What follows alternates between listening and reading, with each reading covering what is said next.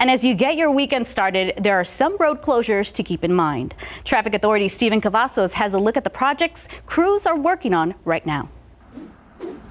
Expect road closures to continue well into the early days of March and, of course, throughout the weekend. Let's talk about what will be taking place here along I-10 over on the east side of Bexar County. Now, bridge work will actually begin Friday, February 17th. That will take us all the way up until Saturday, February 18th. Begins at 9 in the evening and should end around 12 in the afternoon.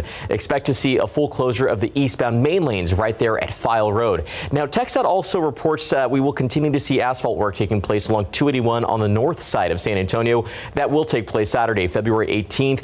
It does begin at 9 in the morning and hopefully should wrap around 3 in the afternoon. Expect to see an alternating lane closure in both directions right there at Wilderness Oak. All right, one last jump here. Loop 410 on the west side of San Antonio. We have continued to see that utility work take place.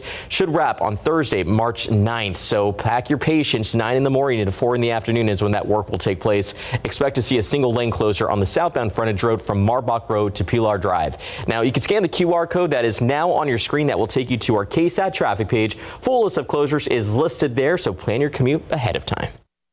Keep up to date with all of San Antonio's top news, weather, and so much more by clicking the like and subscribe buttons below. And once again, thanks for watching KSAT.